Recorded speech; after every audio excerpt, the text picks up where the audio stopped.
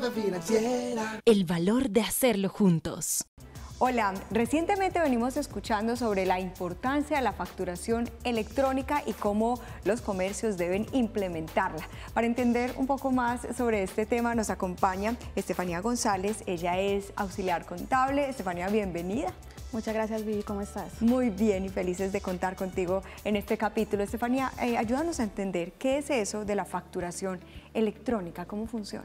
Mira, la evolución de la factura electrónica tradicional de papel eh, está evolucionando a través del sistema electrónico. Eh, mediante esta se genera, se recibe, se valida y se conserva electrónicamente, lo que presenta mayores ventajas teniendo una validez legal. Eh, adicionalmente, tributariamente, eh, nos cuenta como un soporte para esas compras que realizan los proveedores de bienes o servicios.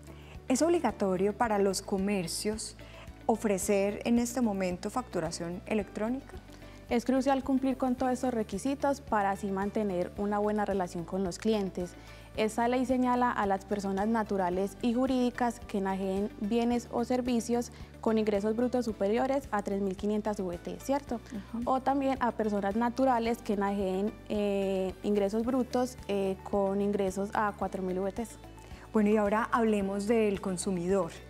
Cuando uno va a un comercio, ¿qué datos debes suministrar para esa factura electrónica que te van a dar como comprador, como consumidor? Y solamente se requiere eh, la cédula o NIT, ¿cierto? Eh, el nombre o razón social y un correo electrónico actualizado.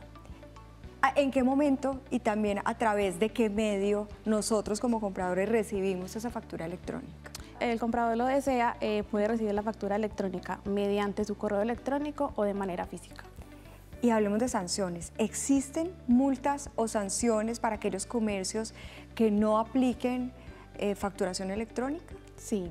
El incumplimiento de esta, de esta expedición de la factura electrónica puede traer sanciones calculadas sobre el 10% de los ingresos operacionales recibidos del mes, del mes anterior al hecho, ¿cierto? O también puede dar lugar al cierre del establecimiento por tres días. Y hablemos entonces ahora de los beneficios. Ya tenemos las sanciones y las alertas, pero los beneficios que le trae no solamente para el comerciante o para el establecimiento de comercio, sino también para los consumidores el tener una facturación electrónica. Esto permite deducir costos, deducciones y o impuestos descontables para las declaraciones tributarias. También es una facilidad para consultar los soportes de compra. Eh, también existe una nueva deducción de hasta el 1% en las compras realizadas de las personas que están en la obligación natural. Estefanía, gracias por acompañarnos hoy. Muchísimas gracias. Y por ampliarnos esta información que venimos cada vez escuchando muchísimo más, el tema de la facturación electrónica, su importancia, sus implicaciones.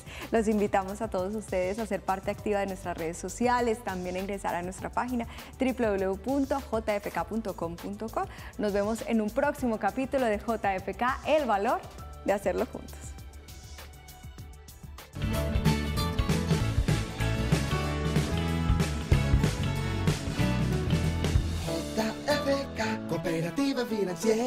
El valor de hacerlo juntos.